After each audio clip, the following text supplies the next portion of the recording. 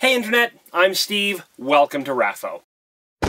One of the most fundamental questions in the Cosmere is how can I power X magic system with Y investiture? You've got a bunch of Stormlight, but want to awaken. Or you've got a lot of breaths, but need to steel push. Or you have to forge something, but you're not on Sel. Brandon refers to this as magical hacking. And apparently there are ways to do it. A couple we've even seen. A certain grumpy Ardent is proceeding to not be dead on Roshar. But the one we know most about is called compounding, the use of allomancy to power feruchemy. I've got a couple videos that go into depths on these systems, but just to quickly review, allomancers can burn certain metals as a key to access a wealth of investiture from preservation. Feruchemists can redirect the flow of their own innate investiture and store that in certain metal minds, then access that stored investiture later. To emphasize, the source of each of these investitures is different. One is coming directly from a shard, and the other is from the individual. The source and relative power level aren't the only differences between the two systems. We learn in Elantris that investiture has certain frequencies and pulse lengths, which must correlate to a specific key,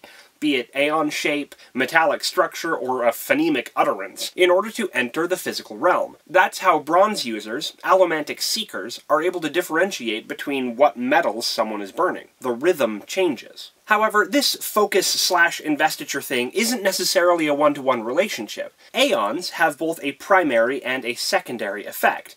For example, Aon Ihi which creates a destructive column of fire, is also used in aonic equations to trigger additional sequences. So it's possible for the same key to have multiple applications, multiple frequencies, depending on the intent. I mean, hemalurgy. With allomancy and feruchemy, the same metal is used for sometimes wildly different effects. Brass suppresses emotion allomantically, but with feruchemy it stores warmth. Copper hides allomantic pulses, but also stores memories. Tin does senses, but differently. So it's not necessarily the metal itself, but how you use it that determines your result. The investiture signatures are distinct, even though the same metal is used. Now we get to compounding. Put simply, compounding is powering feruchemy with allomancy. If someone has access to both allomancy and feruchemy for a certain metal, they can charge that metal with a feruchemical store and then burn that metal mind with allomancy. The investiture contained in the metal has been keyed to the feruchemical attribute, so when it's burned to access preservation's power, the feruchemical attribute is what comes through. That can then immediately be turned around and stored in another metal mind, which in turn could be burned for increased effect. This creates a functionally infinite supply of whatever feruchemical attribute you're storing. An analogy to explain. Feruchemy is like a hand crank generator hooked to a rechargeable battery. Whatever effort you put in,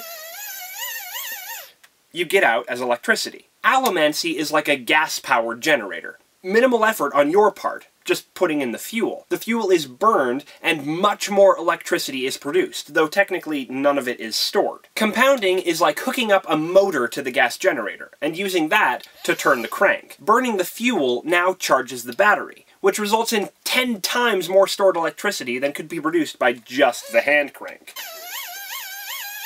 So if you're a steel twinborn, meaning you can burn steel to push metals away from you, and can tap steel to access stored speed, burning a steel mind would give you a supply of feruchemical speed that you did not need to store. When you burn it, you don't also push metals away. The investiture gets overwritten as feruchemical speed. You're burning a metal with allomancy, but getting feruchemy because of what was stored. This is how, such spoilers, the Lord Ruler kept himself alive over his thousand-year reign. Atium stores youth. So he would invest youth into an atium mind, burn it for a supercharged blast of the past, store the compounded effect into a different metal mind, and then slowly tap what he compounded to keep himself at the same age. Eventually, this would get less and less effective. Your spirit web knows how old you are, so his spiritual aspect would pull so hard that compounded youth wouldn't be enough to prevent the aging process. But it works over the really long, short term. Could you spike youth out of someone? You can't just do this with any metal mind, though.